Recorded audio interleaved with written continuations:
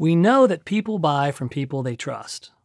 They trust people they like, and they like people they connect with. When a salesperson launches into their presentation mode too early, it not only bypasses the customer's mental trust process, it actually sends the brain into a place of skepticism and judgment. At the simplest of levels, here's the filter and the stages the buying brain works through safety, connection, trust, understanding, opportunity, and credibility. To positively impact your customer, you must follow the path of connection to credibility. Here's how you can evaluate this process. Can you quickly and genuinely create trust by connecting with your customer through mutual beliefs? This helps drop their defense mechanisms and gets you through the first three stages safety, connection, and trust. Can you reinforce that trust through your understanding and empathy of their situation and or issues? Because this accomplishes stage 4, understanding. Can you clearly show them a path forward that results in their success? In other words, stage 5, opportunity. Options available to them. Can you demonstrate proof that you and your company have the ability to actually solve their problem? This is stage six credibility.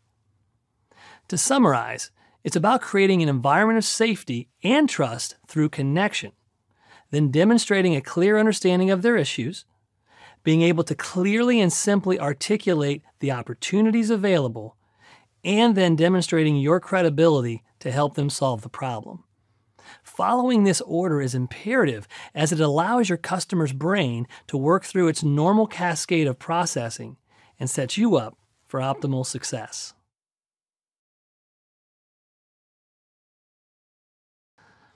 Instead of thinking about how many possible people could buy your product if all the stars aligned appropriately, I want you to start thinking about who in the marketplace is your product or service most likely to help quickly and effectively solve a problem and then work backwards from there. So, what is an ideal customer anyway? An ideal customer could be described as a customer who values your product or service, a customer whom you can make a profit from.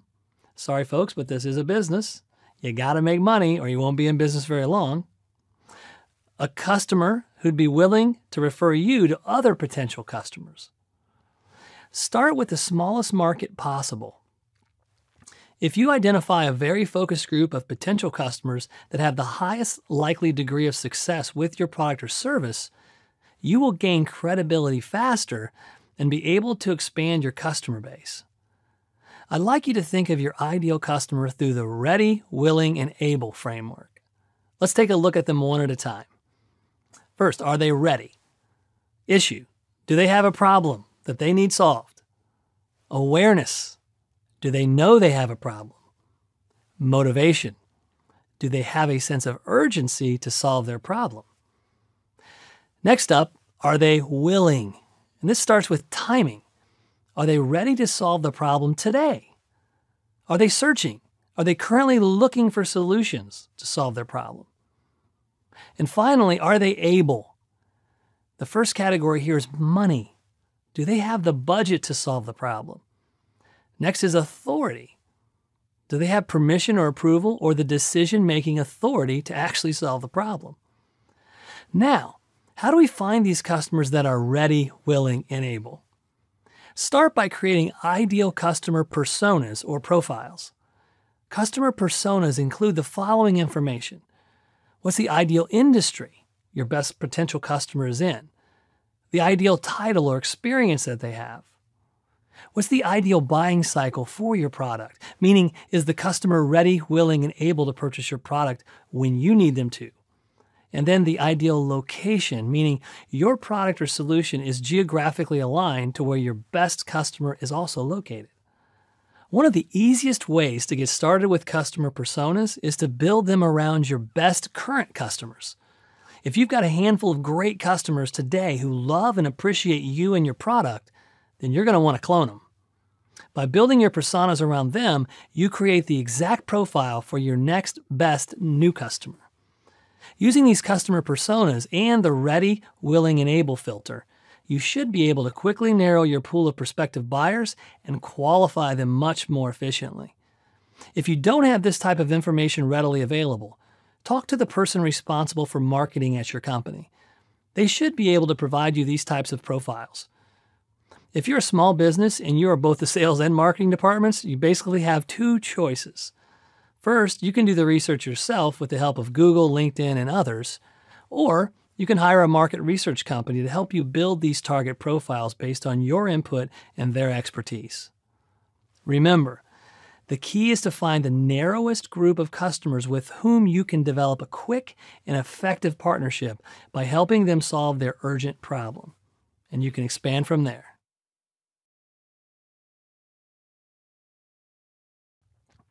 The key is to understand the customer's issues through their lens, not yours. The only way to do this is to ask experiential questions that allow the customer to really dig deep into their issues. Now, let me introduce you to the easiest yet most powerful framework under the sun that will help you navigate this crucial sales success area. It's called the four I's. The first I is to uncover the issue. If there's more than one issue, it's very important to help the customer prioritize them. That way, you can address the most urgent issues. The second I to identify is the impact the issue is having on the customer. This is where you will quantify the problem. If you fail to quantify the problem, then the customer won't have a relative comparison to value when you reveal the price of your solution. The third I is invasiveness. This is really a subset of impact, but reaches across the customer's organization and looks for the broader impact the issue may have.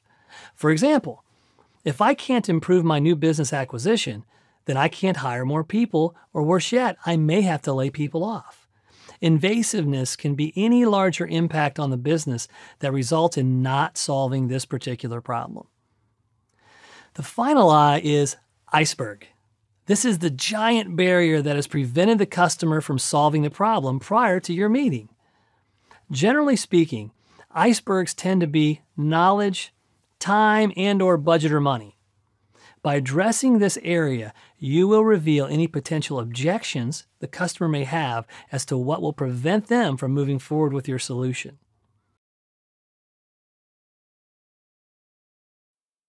We've talked in great deal at this point about how customers make a purchase to solve a problem. That problem can be intrinsic or extrinsic, but either way, when we make a purchase, we feel like we are filling a need. Regardless of what we are buying, there are particular triggers or motivators that push us over the edge from window shopper to new customer.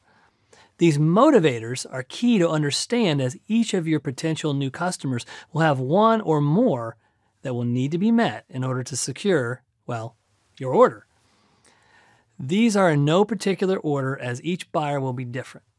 The first motivator we will discuss is price. How much something costs can be, and in many cases is a large motivator in a buyer's decision. As with all purchases, I can use this to justify why I don't purchase or why I do purchase.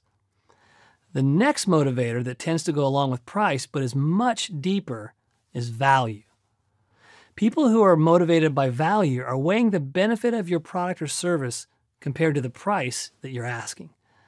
The higher the perceived value, the more I'm willing to pay. Next up, we have quality. This motivator tends to go hand in glove with value. The difference between the two is where value is a perception of benefit versus price, quality is strictly the perception of caliber of the product or service. The fourth motivator is self preservation. This scenario is when I feel that I must make a purchase in order to secure a promotion, prevent a demotion, or simply in more practical terms, protect my family or myself. This motivator is driven primarily by fear and is a highly emotional motivator. In a business to business sales setting, it's very difficult to uncover this motivator. Finally, the last motivator we will cover is social pressure. Many people buy products today based on who they know personally has recently bought the same product. This motivator derives from the groupthink mentality and the subconscious feeling of the need to fit in or belong. You know, to not miss out. Many products today have gained mass market appeal simply by leveraging the motivation of social pressure. Why do you have the cell phone you have? What about the car you drive? How about the neighborhood you live in? Many subconscious factors go into the social pressure motivator, but it can be a strong ally in your sales approach if your product or service has the type of mass market reputation that creates a buzz in the mind of your prospective customer. These are the primary motivators of why customers buy. Once they know they have a problem and have decided to attempt to solve it, one or more of these motivators will help them pull the trigger. Your goal is to determine through your research and conversation which motivator is having the largest impact on their decision. Can you think of something that you've recently changed? Satellite provider, cell phone carrier, insurance? Change is hard for the vast majority of human beings, isn't it? Getting your customer to change is equally as hard. Let's talk about the change process and then go a little deeper into the barriers that prevent us from changing. In order to change, in particular from a consumer standpoint, we go through what I call the purchase change equation. Awareness plus motivation plus ability equals change. Step one is Does your customer have the awareness that they need to change or even that other options are available?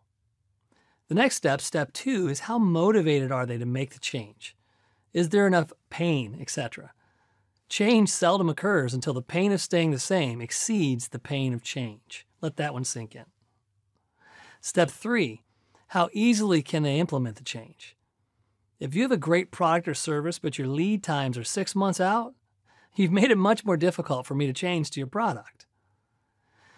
Even though the right level of awareness combined with the right level of motivation and the ease or ability to implement leads to the greatest likelihood of change, there are still several unconscious barriers that we all have to accepting change.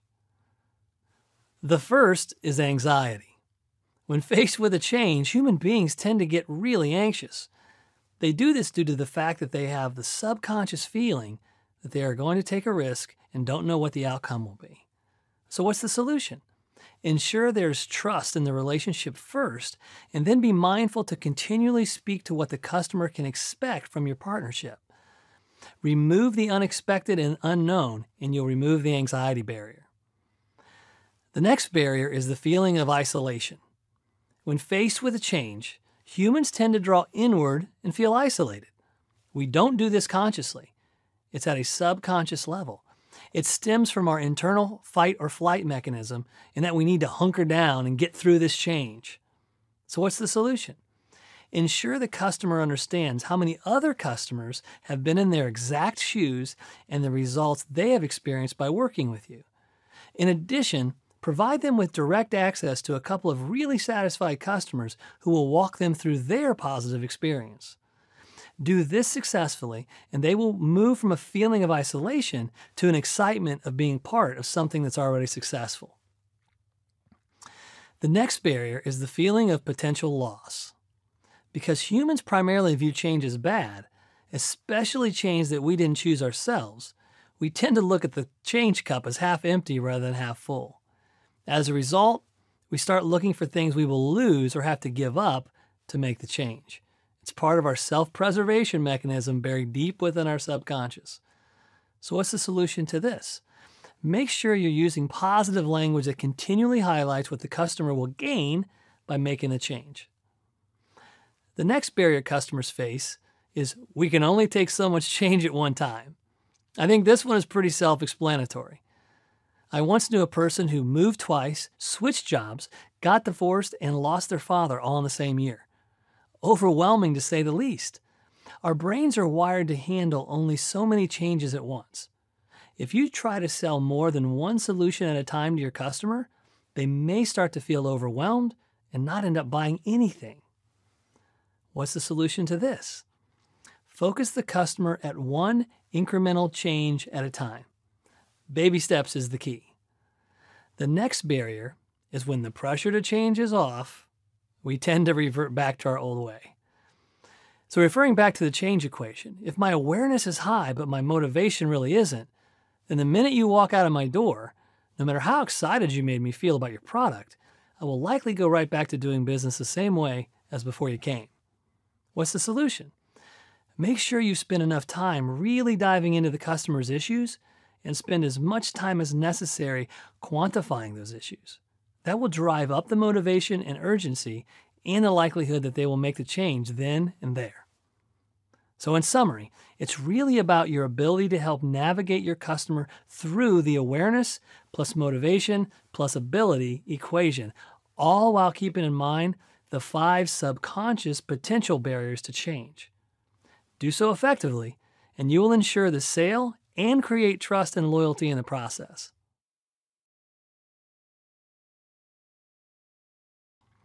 Products and services are simply the vehicles that delivers the solution. Let's look at the formal definition of a product versus a solution.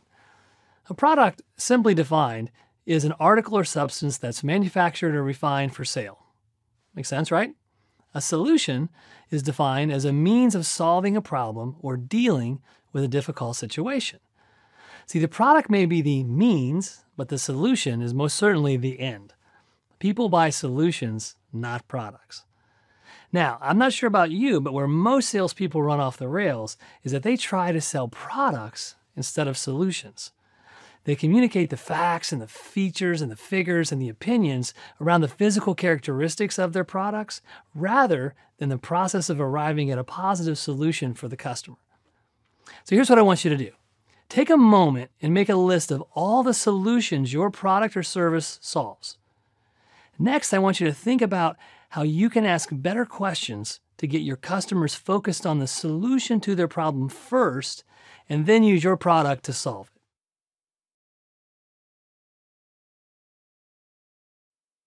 What is it that distinguishes you from me? You may have black hair where I have blonde. You might be 5 feet 9 where I'm over 6 feet tall. You may have long hair where mine is short. You get the point. It's our features that are the obvious initial characteristics that allow us to tell one person from the next. In certain circumstances, the benefits of those features may allow for one person to have an advantage over another. Now, when it comes to your product or service, it's critical to understand all your features, but it's the benefit of the feature that the customer needs to see as critical to solving their problem, and as importantly, the advantage your solution creates compared to other options that they have available to solve their problem. Many salespeople are wonderful at spouting the facts and data to describe all the wonderful features of their product or service, but great salespeople, they know all the details of their customer's problem they are solving and can relate the benefit of the features of their product plus the resulting feeling the customer gets having used your solution to solve it. They do this while at the same time creating differentiating space from their competition by ensuring the advantage they possess over the competitor comes through loud and clear. Here's the application. If you haven't already done so in previous lessons, I'd like for you to make a list of the top five problems that your customers tend to have. Make them problems that your product or service can solve. Next, I want you to list out the top 5 to 10 features your product possesses. Next, after that, next to each feature, I'd like you to list the benefit that that feature has to your customer in a way or manner in which it helps solve or leads to solving the problem. Finally, next to that, list the advantage that feature and benefit has over alternative or competitive solutions your customer might be considering. If you can successfully do this across the board, it will be extremely easy for your customer to see you as the obvious choice for their solution. Now, if you find that you come out on the losing side of each feature benefit advantage exercise, you might want to find a new product or service to market. We want proof. The need for proof that a product or service actually does what it says it does is rooted deep in our brain's subconscious mechanisms that drive self preservation. We don't want to make a mistake. We don't want to get fooled that will cause pain, and we like to avoid pain. Proof that a product or solution works helps us minimize that risk. Now, when it comes to the proof of your solution, there are five basic proof sources that you can pull from. The first proof source is that of the expert. Depending on the sophistication of your product or solution, an expert can really elevate the credibility of your solution in the eyes of your potential customers. There are experts in every field, so it's not a stretch to think that any given solution could use this source. The more technical the solution, the more appropriate the need for an expert proof source. A good example of this would be a doctor helping promote a new drug or supplement. The next proof source is that of a celebrity. Celebrity endorsements are quite powerful, particularly in the direct to consumer space. In the business to business space, celebrity proof sources are much less common. Next up, we have the user proof source. Regardless of the product or service, when you can demonstrate credibility through the eyes of the end user, you generate significant momentum and influence on new customers. Every website on the planet uses testimonials and reviews now to pitch their products. Using case studies and third party reference stories in the business to business space is quite common and can be very effective if done properly. The fourth proof source at our disposal is the wisdom of the crowd. This proof source is like the user proof source, but supercharged. Rather than a specific user experience, wisdom of the crowd taps into our deep desire to be a part of something big, as well as our fear of missing out. This proof source uses the mass effect to influence. You know, if billions of people have eaten at McDonald's, then it must be good. If 30,000 people have joined a service, it must work. Volume of customers does equate to credibility in our subconscious minds. Finally, we have the wisdom of peers proof source. This technique leverages the known referral source.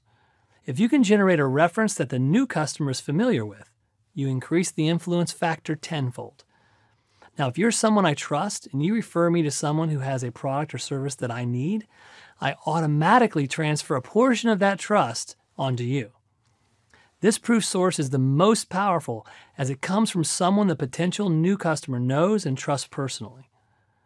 One of these proof sources is powerful, but if you combine two or more, you can really differentiate yourself from your competition. Think of the various proof sources you have for your product or service. Create a list of ideas that fall into one or more of the previous categories. Now I want you to create a strategy to create and communicate these proof sources to your potential customer base.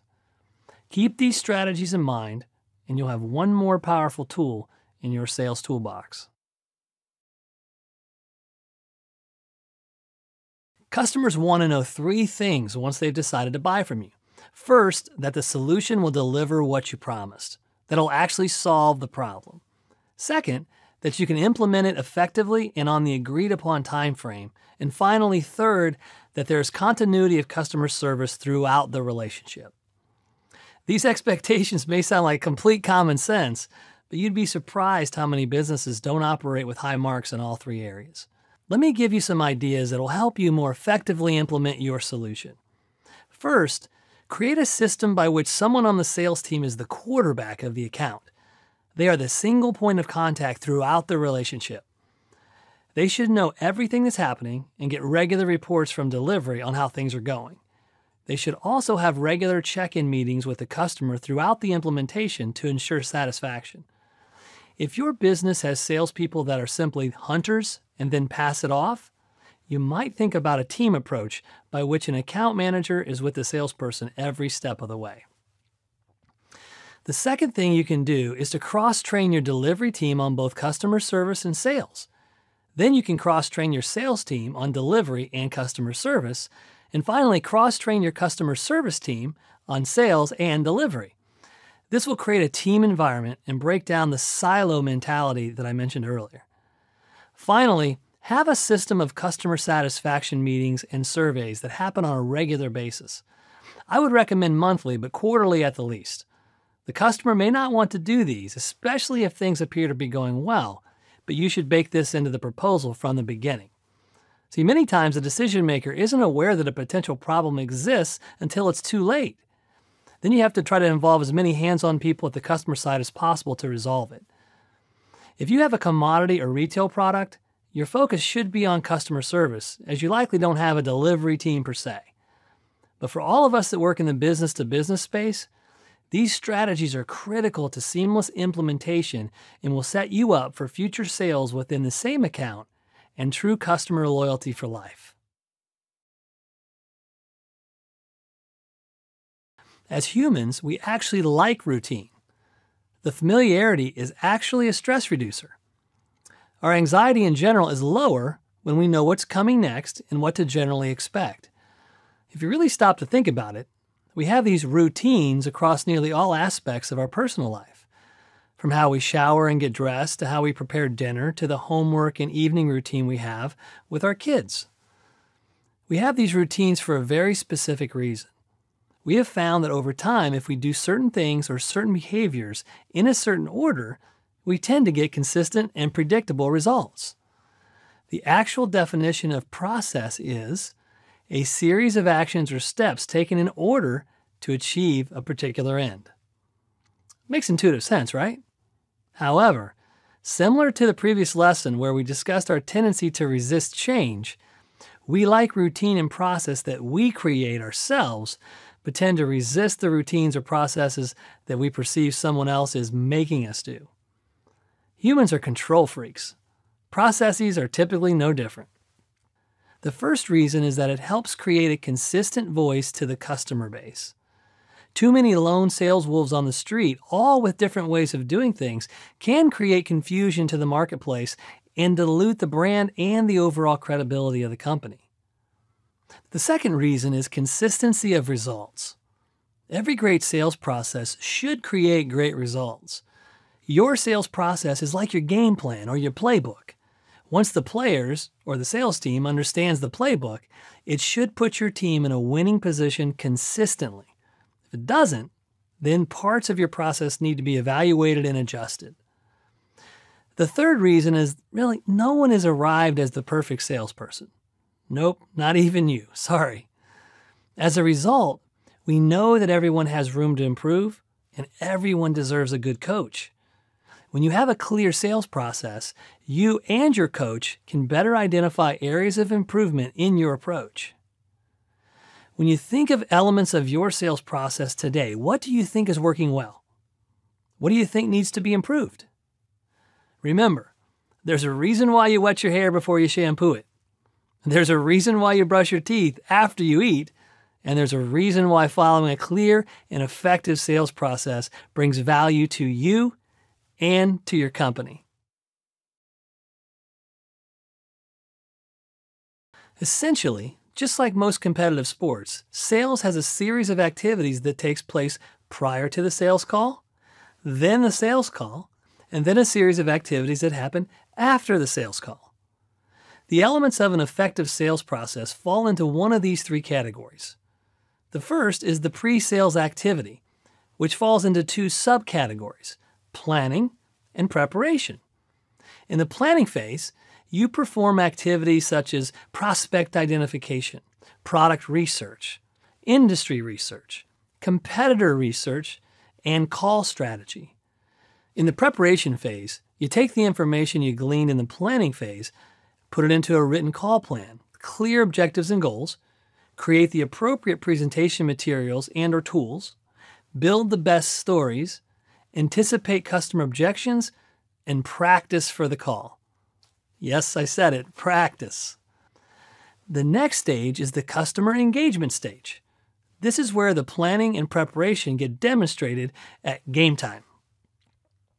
Customer engagement requires a process within the process to maximize your results.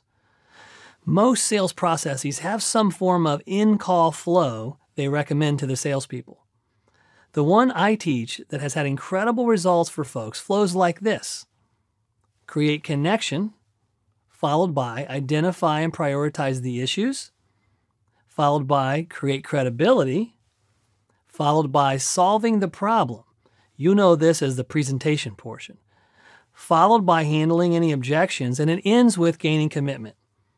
In the next lesson, we'll help you get more details behind how to put this model to work in your sales process.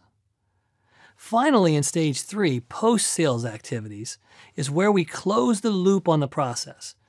In this stage, we do things like solution implementation, customer service and support, gather customer feedback, and get the feedback from our manager or coach on what went well and how we can improve the next call.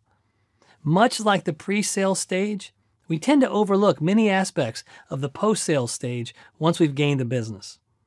The reality is, this stage is critical to your long term customer loyalty and results in significant increases in cross selling opportunities.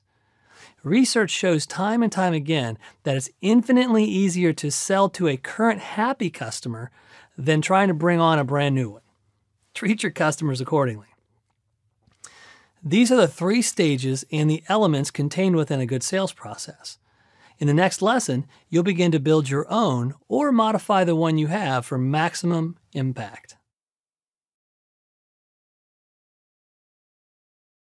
In previous lessons, we discussed the importance of a sales process and the elements of a good one. Now you get to take those elements and design a sales process that works for you.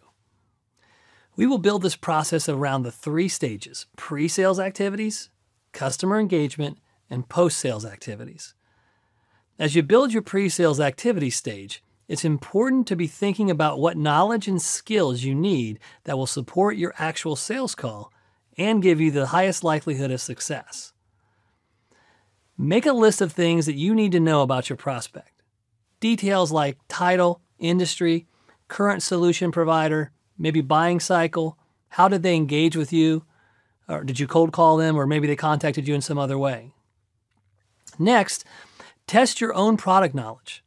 How well do you know the details of your solution and how it actually solves a problem? What do you still need to know? Who can you reach out to in your company in order to understand it better? How well do you know your competition? Make a list comparing and contrasting your solution with theirs. You should understand their products as well as you understand your own. Now, move into the preparation phase. Do you have a written call strategy? What are your objectives for the meeting? Are they measurable? What do you expect to happen after the meeting? What presentation materials do you need? What stories do you plan to leverage? Make a list of potential customer objections and create a story to combat each one should they arise. Lastly, once you've got all this information in a clear and easy to access plan, practice your call with a coach or peer. Then review it again on your own, visualizing the scenarios. Now you're ready for phase two. As mentioned in a previous lesson, we have found the customer engagement stage works best when you follow a certain order. Step one is create connection. This goes beyond simply rapport building. It requires you to create an introduction story that shares who you are and why you do what you do. Step two is to identify and prioritize the issues the customer is facing. For more information, refer back to the previous lesson on understanding your customer's issues. Next up, we move into creating credibility. This is where you explain through a company story why you and your company are the most credible to solve the problem. From there, you solve the problem by presenting your solution. Think about creative ways to do this through stories and analogies and engaging visuals. Don't be boring and don't be a data dumper when presenting the solution. Use emotion and story based techniques to maximize the customer's engagement. From there, you can address any objections the customer may have, but do so through narratives, not facts. Don't try to convince them that their objection is unfounded. Simply walk them through a story that shows them their fears are normal, but don't result in the worry that they currently have. Lastly, gain the commitment. Get them to decide the next step. Most people call it closing, but I teach folks not to close. If you follow the framework I just laid out, by the end, the customers should really close themselves. If they don't, you should reflect back on the steps and see where you might have missed an opportunity. Now you're on to building your last stage post sales activities. Make a list of steps that clearly outline for the customer the implementation steps. Simplify things as much as possible. Make it easy for the customer to change to your solution. Next, create a customer service contact and resolution process so that you and your customer know exactly what to do should they need help and exactly how each issue gets brought to resolution. Next, create a customer feedback questionnaire. It shouldn't be longer than 10 questions with a mix of ratings and open ended comments. The last step in this stage is to create an evaluation sheet for yourself.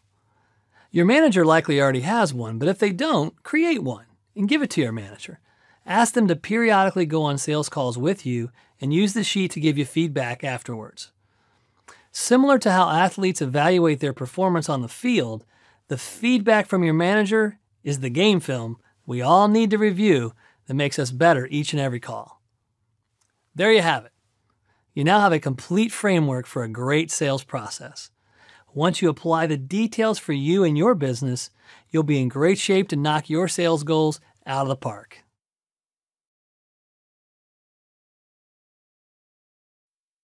Whether you're a rookie or a veteran salesperson, the number one thing that will determine your success, both in the short term and the long term, is the same for everyone it's your attitude. We've all experienced that morning where your alarm doesn't go off, you're running late, you jump in the shower, and for some reason your hot water heater isn't working. You finally get on the road, but there's an accident on the freeway on your way to the office. You eventually get to your office, you boot up your computer, and suddenly there's that required critical software update that's going to take at least 30 minutes. So you decide to get a cup of coffee while you wait, only to find that someone used up the rest of your favorite creamer. So, how do you think your calls are going to go that morning? Do you think you're going to have some great success on the phone? Probably not. In all likelihood, you're now in a bad mood, and the thought of listening to people tell you no is just going to put you over the edge. Of course, this example might be a little extreme, and frankly, would put the best of us in the worst of moods. However, there is no question that how we feel when we start to prospect is going to impact our success. To start a great day off prospecting, we have to possess a belief that what we are doing is actually helping people. It doesn't matter what it is that we're selling, what matters is that we are solving a need for a prospect. They may not know that they have a need yet for what we have to offer, but that's okay we do something that helps people. Now, if we start thinking of prospecting as just a numbers game, we won't have much success. Our prospects can feel that, even through an email or phone call. Another way to drive our attitude in the right direction is to understand that we have great knowledge to share. We aren't just calling to annoy them. On the contrary, we have valuable insights to share that will help our prospects succeed. We can share stories of other customers that we've helped in the past or give them a view of a situation that maybe they haven't seen before. We are bringing value. Okay, so now our mindset is right. Are we ready to make calls? Probably not. When you study how our brain works, you come to realize that the brain needs some level of justification in order to take action. We often refer to this as the WIFM, or the what's in it for me moment. For example, if I tell you to go run a half mile while it's 90 degrees outside, you're probably going to say, forget it. However, if I tell you that at the end of that half mile there are tickets to an all expense paid two week vacation in the Bahamas, your response might be far more agreeable. So it's important to understand that your efforts will lead to success for you, which may take on the form of recognition, money, or job security. The brain is an amazing computing marvel. According to some scientific estimates, the brain calculates over 20 quadrillion pieces of information per second. That's 20 with 15 zeros behind it. But how many of those things can we focus on at one time? The answer is one. For example, have you ever been driving home while deep in thought about something and realized you can't even remember a thing about the last few miles you drove? It's scary, isn't it? See, our subconscious mind was actually driving us along that road. Well, how does this apply to prospecting? Well, the answer is likely pretty obvious. Prospecting, like most things in life, is far more successful when you focus your efforts on the task at hand and avoid distractions. So, what kind of things can distract us from focusing on our efforts to prospect? Well, some of them are pretty obvious responding to emails, answering calls that aren't related to your prospecting, maybe chatting with people in the office, and the list goes on and on and on. Are there other things that could be distracting you, though? One of the most common distractions I've seen over the years is spending too much time researching your calls, something that's often referred to as paralysis by analysis. Reps spending time feeling that they need to research the educational background, the job history, and virtually everything about a prospect, thinking that this will actually improve the quality of their calls. When I have asked them how much time they spend researching a call, they usually tell me, eh, maybe five minutes tops. Yet when I've timed it, they're often spending 20 to 30 minutes or more just researching on one prospect. Think about it this way Have you ever looked up a topic on the internet and suddenly you look at the clock and an hour or more has passed? It happens all the time. We get engrossed in a topic and suddenly time has slipped right past us. The same thing happens with prospecting. Let's say you're using LinkedIn to research your next prospect. As you look at their profile, you see someone that they're connected with, someone you know, but haven't talked to in years. Without a doubt, that can be useful information on the call. The problem is that we click on that former colleague's profile, we look up their work history to see how they're doing. Then you see someone else you know and think, wow, I didn't know they worked there. And so you click on that profile, and so it goes until pretty soon time has gotten away from us. We get to the end of the day when our goal was to make 50 calls, and we've only made five, yet we were busy the whole time. So, how do we combat this? Focus on the task at hand. Make an agreement with yourself that you're only going to spend so much time on research. There's some methodologies out there that are well proven that tell you to look for three interesting points about a person and spend no more than three minutes doing. This way, it's a great way to keep your focus on just your prospecting. Another helpful way to create focus is to schedule your activities and stick to that schedule. For example, check and respond to emails your first 30 minutes of the day then shut email down for two hours while you prospect. Vocalize to your workmates that you're prospecting and you're not to be disturbed. Set an alarm on your phone for breaks and don't get up until that alarm goes off. Do your research during the last 30 minutes of the day in preparation for the next day. Yes, creating focus is an action, an effort to create a situation where you can stay focused on your prospecting. Create a plan and stick to it and you'll see the results of your prospecting improve drastically.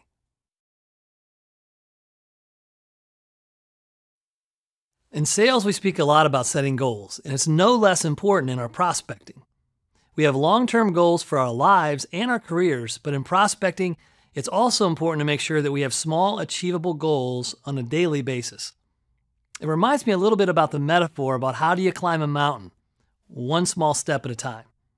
When we start our day and we know we need to do a bunch of prospecting, especially telemarketing or cold calling, the task can certainly feel like you're standing there at the base of the mountain. This is especially true when we might be a little behind our number for the month. This is why small, manageable goals are so important. To start the day off thinking, I'm going to set five new end user appointments today, might be a great goal, but the reality is that a lot needs to happen before you're going to hit that goal. Thinking that way is like focusing on the finish line that's still miles and miles away. Like many runners in those endurance races, you may end up quitting before hitting the goal because it starts to seem unattainable.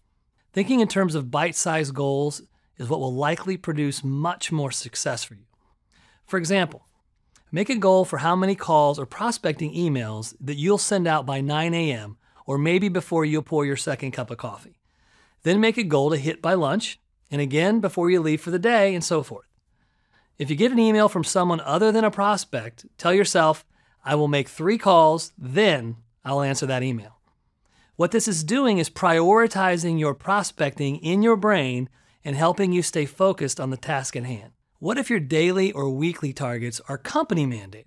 Well, you follow the same methodology and break those targets into smaller chunks to achieve those goals. To be able to achieve goals throughout the day can be very rewarding and actually serves to keep the brain focused on the task at hand. There is no doubt that prospecting can be one of the toughest parts of a salesperson's job, but breaking down the day into manageable goals is a sure way to keep your day progressing and help you achieve greater success. I firmly believe that attitude has to come first when it comes to prospecting. Having the right mindset and attitude will even positively impact your next topic preparation. When it comes to preparation, I believe that most of us already believe that this is important. What we will be talking about in this section is really making sure that your preparation is properly focused and helps you achieve greater results. the first point of preparation is to make sure we know who our prospects actually are. This may sound simple, but the reality is sales reps often make dials and will talk to anyone who picks up the phone and doesn't hang up on them. Now, this is somewhat like shooting an arrow and then trying to aim. Your conversations change on every call, and you don't have a clear presentation or conversation planned in mind. Your success is definitely going to suffer. When we truly understand to whom we are trying to reach and what is of interest to them, we become more accurate with our sales arrows. So, how do we do that? This preparation is likely going to have to involve your manager or possibly even your marketing department.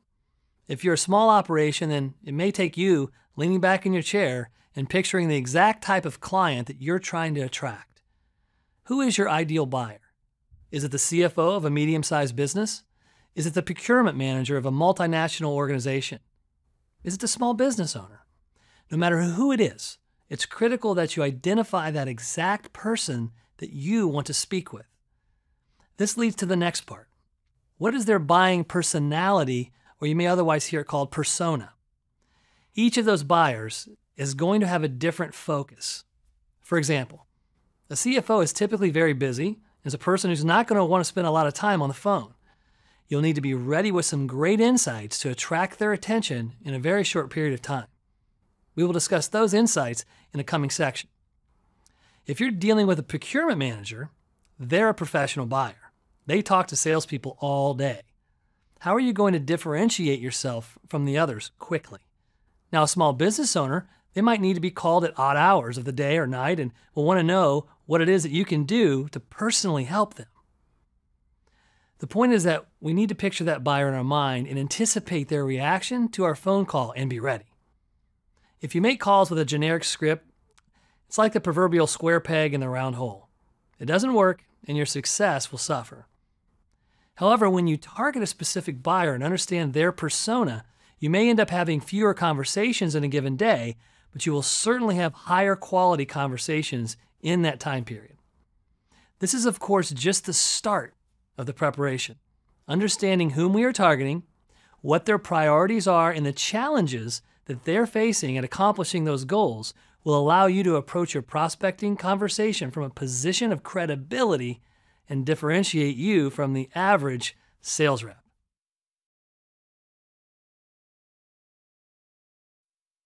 Most of us know a person that just gets us.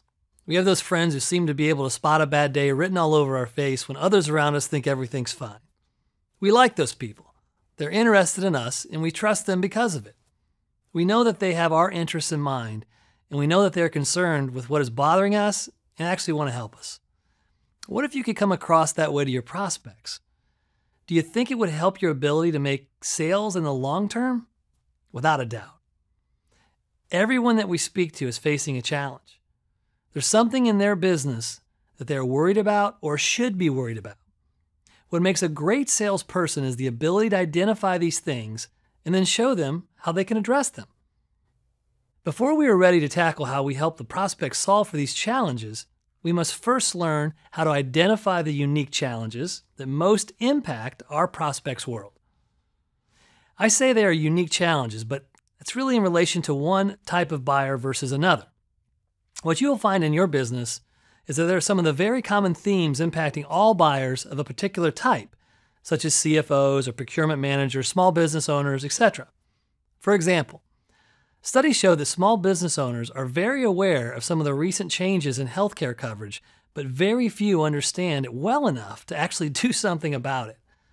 That's just one example of something that might be unique to your buyer, but also somewhat universal. So, how do we address these things? Again, preparation is key. Your company likely has a target audience that they understand pretty well. They likely follow industry trends and have some good insights that can be shared with your prospects. The key is that you want to share insights that'll be interesting to your prospects, not just something that, that you thought was interesting. You want this to be something that makes the prospect sit back and say, hmm, yeah, that is interesting. 89% of buyers surveyed feel that their interactions with salespeople bring no commercial value to them. That is something that a VP of sales is going to care about. That isn't good. This whets their appetite for talking to us about how they might actually fix that. This is what you want when you start sharing insights. So, how do you go about getting this insight? You can find these researching sources like LinkedIn, following industries on Google, and sometimes even buried in news articles that your company or prospects are posting on the web. You likely have the same scenario in your own organization. There's no question that it takes time to research these things, but once you have them in hand, you can use them for call after call after call. Having insights gives you a reason to speak with your buyer. This isn't just a prospecting call anymore. You can approach it with the mindset that you have something valuable to share with them, and this changes the entire tone of the call. Even if you don't set an appointment on that call, over time, you'll be identified as a person who provides insight and is a resource to your buyer. They are more likely to take your call in the future and then, when the time is right, meet with you to discuss the possibility of doing business. You'll be considered a trusted advisor, not just a salesperson. Once you've piqued their interest, you have the most important and valuable commodity in the world of prospecting their attention. Now the real fun begins. When it comes to prospecting, we know that simply making calls and talking to whomever answers the phone or is at the front desk isn't likely going to get us very far. We then actually have to have something to pique the interest of our buyer, something that will shake up their status quo. We do this in the form of insights. These are pieces of information, possibly statistics, which point to a need that our buyer has and is something that may interest them that they haven't considered yet. Once we have their attention, the next key is to be able to properly articulate our differentiators as an organization and show how we can actually solve their problems. If we can't do this part well, our prospecting is useless. Think of it this way you prepare a beautiful dinner, you get your buyer to agree that they're hungry and agree to come to dinner. The problem is that they're vegan and you are a steakhouse. Your solution must fit their needs and you have to be able to articulate it fluently. Most salespeople feel that they can properly articulate their company's value and differentiators. The problem is that buyers don't agree. According to Forrester Research, 89% of B2B buyers don't think that salespeople bring any commercial value to their appointments. This tells us that we need to be much better at sharing how we are uniquely qualified to solve a problem. The better that we can do this on the prospecting side, the more effective our face to face conversations are going to be. Articulating our unique solution requires real effort and preparation. We have to understand what a differentiator really is. What differentiates you from your competition and answers the needs of a customer? Would you say customer service is your differentiator? Your competition probably provides customer service as well, and likely can point to clients who think theirs is superior to yours. We hear companies say our people are the differentiators. Does your competitor have people too? I would imagine so. Differentiators need to be specific and not just be cliche. If your product is the only one on the market that is environmentally friendly, made of recycled parts, and lasts longer than the competition by 30%, well, that's a differentiator. The key is to have the insights you provide point towards something that allows your prospect to do something differently than they're currently doing or can do with your competitor. Now, I'm not saying that you're going to necessarily get into a detailed discussion about what your unique solutions are on a prospecting call. There isn't likely time to get into that when they aren't even expecting your call or visit. However, having these unique insights and solutions in mind when you make that call arms you to have a conversation that's both meaningful to the prospect and differentiates you from all the other prospecting calls that they've received that week. So, how do we identify these differentiators? This takes both some research into both your company and, of course, that of your competition. Understand that your competition likely has a very good product, otherwise, they wouldn't still be in business. Even so, there are specific things about your product or services that set you apart. These have to be specific and they have to be unique. As a word of caution on this, keep an eye on your competition when sharing these differentiators. In the world of technology that we live in today, differentiators can be changed overnight, and all of a sudden your competition offers the same thing or possibly even a better version of what you thought was unique before. Understanding and articulating your differentiators is a dynamic part of your prospecting and sales process. So, for your homework, make a list of the top features and benefits of your solution. Next, map those directly to how it uniquely helps the customer solve a problem. Finally, describe how solving that problem with your solutions brings direct, measurable impact to your prospect and their business. If you can follow this differentiator roadmap, you'll be well on your way to creating further interest in the prospect setting a face to face meeting.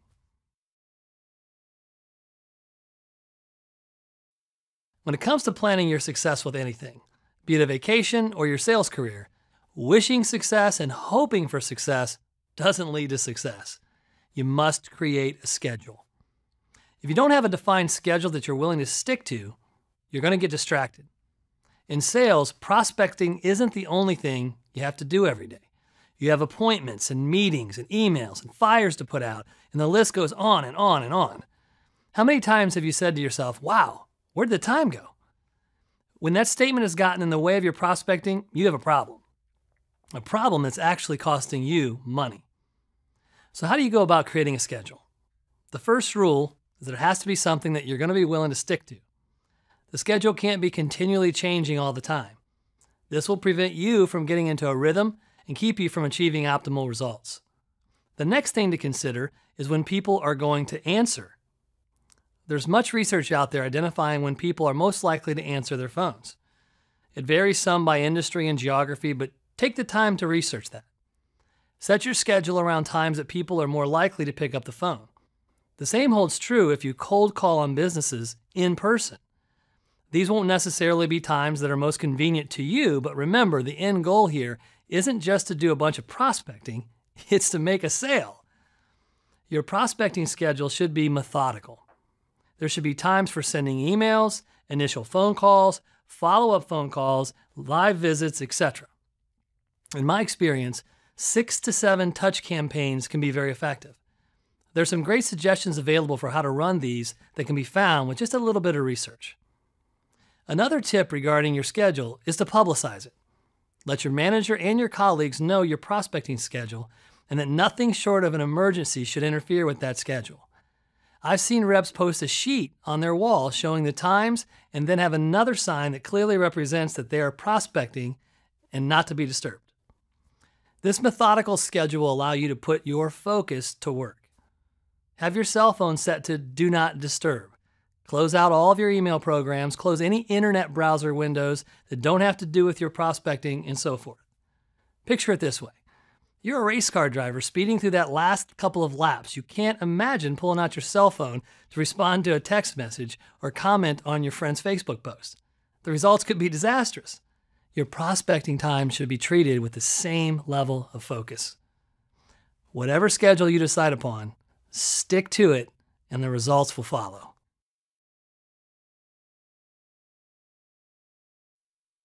You may have heard the old adage, what gets measured gets done. When it comes to prospecting, the same approach can be very rewarding.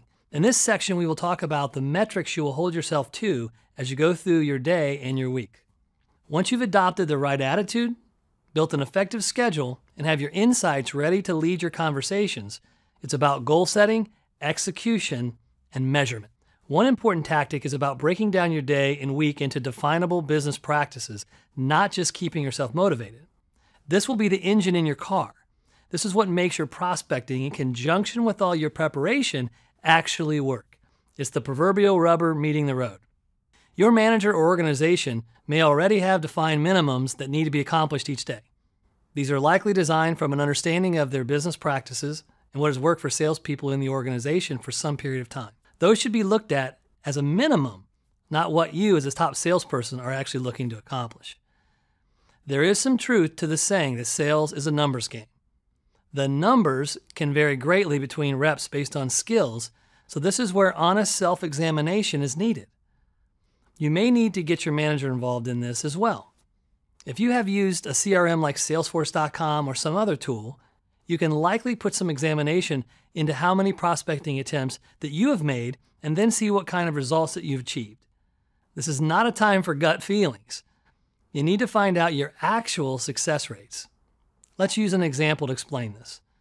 Your company may say it takes 100 dials to get one sale, so they set your minimum goal at 100 dials per day. If in reality you take 125 dials to make one sale, you're likely going to be behind quota. Now, based on this self examination, you need to set yourself a higher number, at least 125 per day, to stay on pace. The fact that it takes you more calls doesn't make you a bad sales rep. On the other hand, recognizing this fact and adjusting accordingly makes you a very smart sales rep. Using the same example, let's say you figure out it only takes 80 calls to make one sale. That's great. Should you just target 80? That isn't what top salespeople do. The great ones will still target at least 100 dials and know that they are likely going to be ahead of quota. That self examination and metric setting gets you part of the way. Now it's time for a realistic breakdown of those numbers into your schedule. How many dials or cold calls can you make in an hour? That will vary by industry and what you're trying to sell. Use realistic numbers. Don't just use what you think your manager or others want to hear. Talk to top salespeople in your company and find out how much they can do in an hour and copy that. You may find that you need to adjust your schedule. Sometimes you may need more time. Other times you can actually get away with a little less. Now you have to track it and review your results on a weekly basis. I recommend a CRM tool or something that ties into your phone system, but even hash marks on a page can work. This is your sales Fitbit, if you will. One way or another, track what you're doing and don't lie to yourself. Make adjustments as needed. This is what great salespeople do to keep their performance going year after year.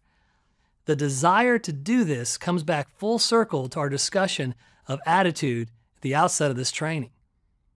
So, we've talked about attitude, your schedule, how to make successful calls, and how to have metrics that will keep you successful. You're now well on your way to being a consistent top prospecting performer.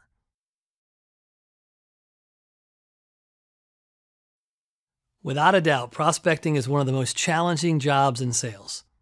The concept of reaching out to a person who likely doesn't know you and may not even know they have a problem that needs to be solved is fraught with difficulty. However, the rewards can be just as great. Your company may or may not have a system in place for rewarding you for achievement. Big companies have President's Club trips or other types of awards, Small companies may have a pat on the back at best. Either way, it's important that you take care of you when you're expending all this energy to prospect. In this section, we'll talk about the importance of rewarding yourself for hard work. Now, some of you may roll your eyes at this section, but trust me when I tell you it's very important. We already know how important attitude is in prospecting. One of the big reasons attitude is so important is that it carries to and through your prospects. They know whether or not you're having a good day. Your voice inflection on the phone or your facial expressions in a face to face meeting telegraphs your feelings to a prospect. When you are run down towards the end of a day of prospecting without a lot of success, chances are you'll finish the day without a lot of success. Why is that? Whether you realize it or not, your tone has conveyed one of defeat. Ironically, your prospects will imitate that attitude and likely not agree to an appointment or buy from you. It's human nature. I won't get into the whole discussion on mirror neurons, but believe me, they are in play. So, how do we combat this? We all have things we'd rather be doing than prospecting. Use those things as rewards. If you hit your goal for the morning, treat yourself to a few extra calories at lunch or two rounds of your favorite game on your iPhone. These little things can help bring your mindset back into the proper place. These aren't necessarily always rewards for success, as in selling something or booking an appointment, but rather rewards for accomplishing your activity goals. Again, there's a reason for this. We know that sales is a numbers game at times.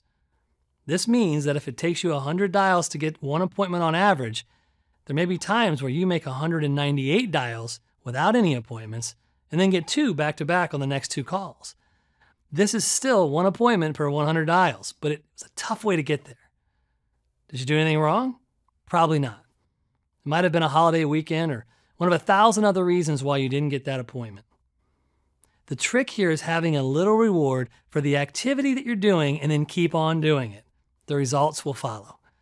The hard part is sticking with it long enough to see the results so the little rewards help keep your mind focused. It can't be emphasized enough that prospecting is one of the hardest jobs of a salesperson. Like most things in life, it comes down to attitude and preparation.